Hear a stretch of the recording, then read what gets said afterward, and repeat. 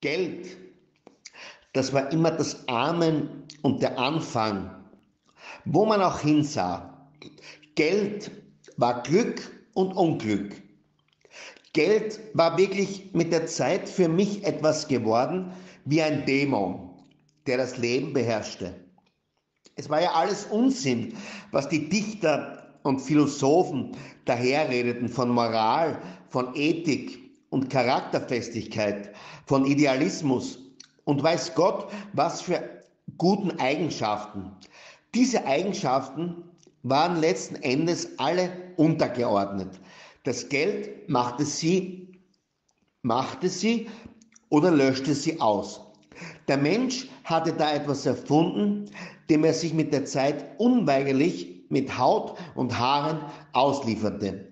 Hatte er kein Geld, so war er ein, ein Nichts. Besaß er eins oder verdiente er gut, dann konnte er leicht gut und menschlich sein.